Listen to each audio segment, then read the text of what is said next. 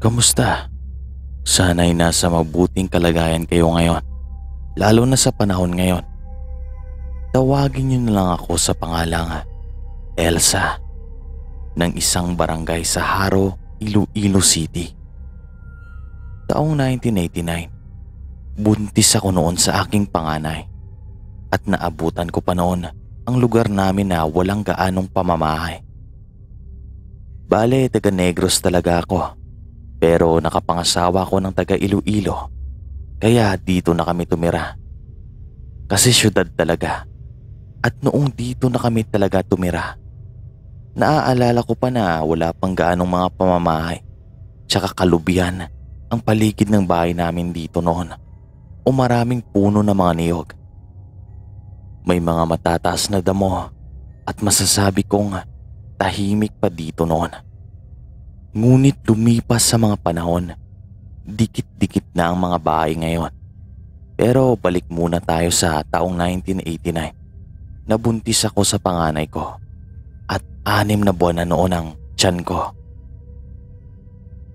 Isang gabi, Inaantay ko si Mr. na makauwi sa bahay nang dahil wala pa kaming ulam. Mahirap kasi ang buhay noon at kasama ko sa bahay noon ay ang nanay ng asawa ko. Bale, dalawa lang kami ang nasa bahay noon na medyo kubo ang dating. Nagawa sa pawit ang dingding at bubong. Ay, nasaan na bang anak mo na Siguro niyaya na naman siyang mag-inuman ng katrabaho niya. Sabi ko kay nanay. Yung asawa ko kasi noon ay parang uhaw na uhaw sa alak. Araw-araw umiinom. Yang sabi, pampawala daw ng pagod kasi nagtatrabaho noon ang asawa ko sa isang paggawaan ng mga jealousy, aquarium at mga related sa aluminum.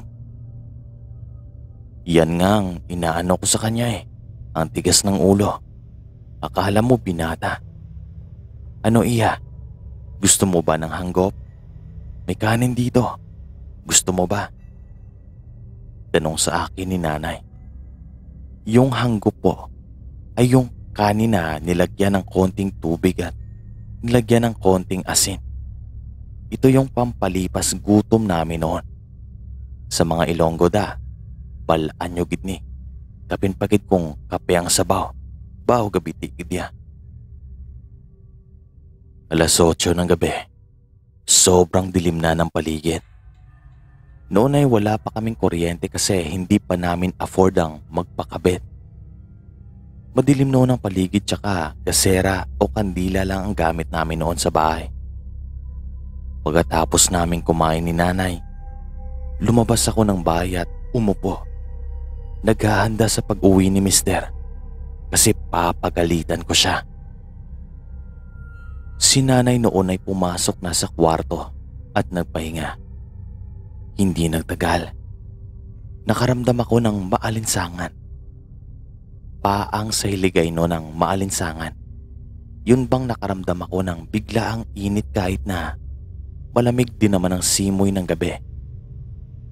Kaya naman, kumuha ako ng abaniko at pinaypayan ko ang aking sarili may mga kumakalos ko sa bubong namin na gawa noon sa pawid. Hindi ko ito pinansin kasi baka isang kuring o pusa lang ang nasa bubong namin. Kaya naman, binaliwala ko ito. Hanggang sa hindi talaga tumigil ang pagkaluskos niya sa bubong. Na animoy, gawa na ng isang tao. Tumayo ako sa kinauupuan ko. Umatras ng konti para makita ko ang bubong. May kuring mundo.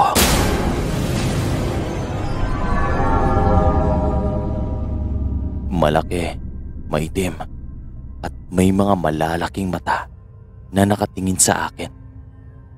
Sumigaw ako kasi hindi na tama nakita ko. Sobrang laki ng pusang itim na iyon hindi na normal. Kuring mundo, kuring mundo. Sigaw ko kay nanay. Agad naman akong pinuntahan ni nanay at habang papalapit na si nanay sa akin, nakikita ko ang isang baso ng asin na dala-dala niya. Saan? Saan? Medyo napapanik na tanong ni nanay. Hindi pa talaga umalis ang kuring mundo sa ibabaw ng pawid. Nakatingin na siya sa amin at parang tutuklawin niya kami o para bang tatalunan niya kami ni nanay. Nakita ko na nakahanda ng malaking pusa na iyon sa pagtalon. Ngunit itinapon ni nanay ang isang basong asin sa kanya at agad siyang tumalikod at tumanon sa likod ng bahay.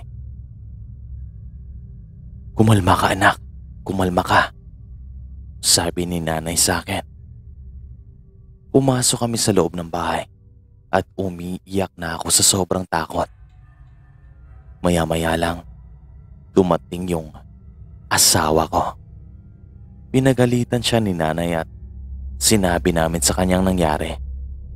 Agad naman itong nagtatapang-tapangan na para bang kakasa talaga sa aswang na iyon. Wala na yon. Hindi mo na mahahanap yon. Pero may kutob ako na babalik-balikan niyang asawa mo. Ikaw kasi, alak ang pumapasok sa isip mo. Sigaw ni nanay sa asawa ko. Noong humiga na kami ng asawa ko, narinig kong nagsabi si nanay ng, Anak, bantayan mo ang asawa mo. Magkape ka. Napangiti ako sa sinabi ni nanay sa asawa ko. Nakatulog ako nung sandaling yon habang ang asawa ko naman ay huli kong nakita na nagtitimpla ng kape. Pumatak ang alauna ng madaling araw.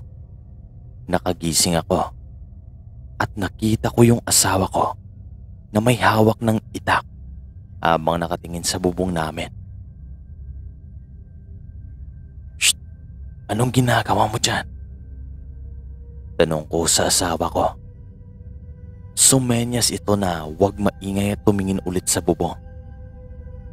At naririnig ko ang dahan-dahan na yapak at ang huni ng pawit na sa kung saan ako nakahiga. Dahan-dahan namang pumunta si Mr. sa gilid ko at nagtangka na itong tuhugin ang bubong ngunit hindi pa niya natutuhog ang pawit.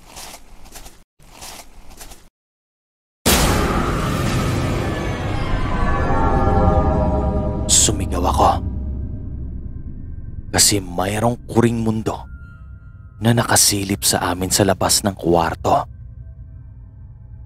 Nakabukas kasing pinto ng kwarto namin at nakasanayan namin ito para pumasok ang hangin sa loob ng kwarto namin bintana lang yung sinasara namin. Kuring mundo, nasa labas ng kwarto. Lumingon si Mister at tumakbo siya palabas ng kwarto. Doon daw niya nakita ang taga-baywang na pusa. Sobrang laki daw at tugmang-tugma sa nakita ko kanina noong nasa labas ako ng bahay. Agad namang nagpanik si nanay noong lumabas siya ng kwarto. Nasira ang pinto ng bahay namin na gawa lang noon sa mga light materials na kahit aso, masisira ito. Doon daw lumabas ang kuring mundo at nasira niya talaga ang pinto namin. Hindi na tama ito. Bukas na bukas, sasabihan ko ang babaeng yan. Sabi ni Mister. Mayroon si nanay at Mister na pinaghihinalaan noon Isang babae na nakatira medyo malayo sa amin. At yung babaeng ito ay minsan nang nagpakita ng motibo kung ano talagang pagkatao niya. May mga nagsasabi na may nakakita daw sa kanya na nakatingin sa pagitan ng kanyang mga paa. May mga nagsasabi din na minsan nasa bubungan siya ng bubong nila. At si nanay mismo ay may naging karanasan sa kanya. Minsan nang nagbigay si nanay ng pagkain sa babaeng ito. Kasi sa tuwing kaarawan ni nanay, lahat ng mga kalapit bahay ay binibigyan niya ng pagkain. Binigay noon sa kanya ni nanay ay adobong manok. Ngunit Hindi raw niya tinanggap kasi maraming asin daw. Kahit na hindi pa niya tinitikman.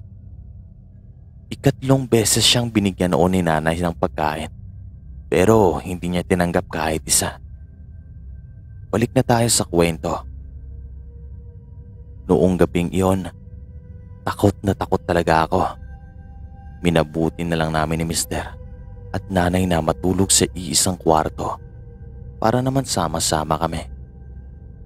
Kinaumagahan, nagpatawag si Lola ng isang manggagamot na taga Negros din. Kaya naging maayos ang usapan namin. Binigyan niya ako ng insenso. Magsindi raw ako ng goma pero bawal sa akin yon. Makakasama sa kalusugan ko lalo na't buntis ako. Kaya naman, insenso lang ang tinanggap ko. Mga matutulis na bagay na ikabit raw sa bawat lagusan ng bahay. At ilang mga punseras na kinabit ko sa aking mga braso. Sa mga sumunod na araw, hindi na nagpakita o nagparamdam sa akin ang kuring mundo na iyon. Hanggang sa mga anak ako. Kasi gabi-gabi, nagdadasal kami ni nanay tuwing alas 6. Nagdadasal kami sa proteksyon para sa pamilya namin. Ang Diyos lang talagang makakapagbigay sa atin ng tunay na proteksyon sa mga masasamang elemento. Ngayon medyo dikit-dikit ng pamamahay dito sa amin at hindi na siya ganun katahimik pero ayos din naman kasi malawak din naman ang lugar namin dito. Maraming salamat po sa butihing narrator natin at binigyan niya ng buhay ang matagal nang nangyari sa amin. Elsa ng Haro, Iloilo City.